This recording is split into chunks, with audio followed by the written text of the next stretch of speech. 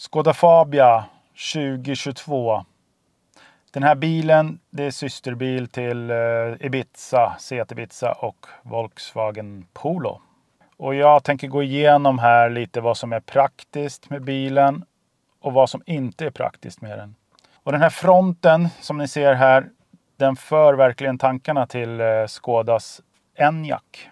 De har jobbat med karossen och med lite tillval så är det väl meningen att man ska få bilen att se lite sportigare ut. Bilen har då en snygg eh, spoiler här och eh, taket går att få i svart eller i grått. Nypris 228 600. Och stolta är Skåda över den här då hela bakpartiet har stora bokstäver och ingen kan missa att det är en Skåda. Invändigt så är ju bilen lite plastig. Och eh, dörrhandtagen här, de är, de är rätt coola.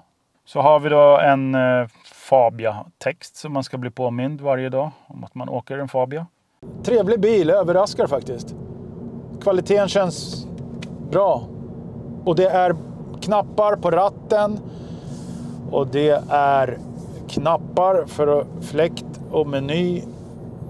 Finns även infotainment system men eh, knapparna är att föredra då man kan göra mycket samtidigt som man kör.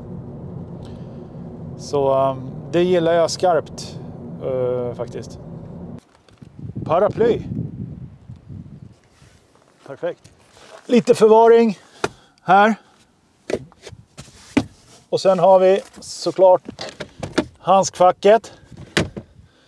Sen har vi Isofix. Lite förvaring här. En liten detalj, om ni tittar ner här. Så ställer jag en flaska där så hålls den fast så kan jag skruva av korken. Här är en cool detalj. När du ska fylla på spolarvätska så bildas det en tratt. Perfekt.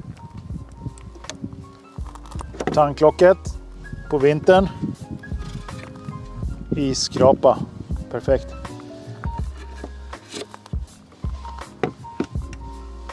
Här är tänkt för att bältet ska glida fint. Vad händer? Bältet fastnar.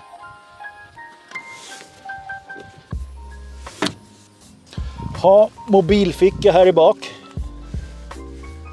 Kul, bra, bra detalj. Roboten som har sytt har eh, fått mycket olja den här dagen så de har blivit lite sådär. Ja. Det är en eh, förnuftig bil att köpa faktiskt. Det, det, det tycker jag. Tack för att ni kollade och eh, glöm inte bort att ge en tumme upp. Bra, tack.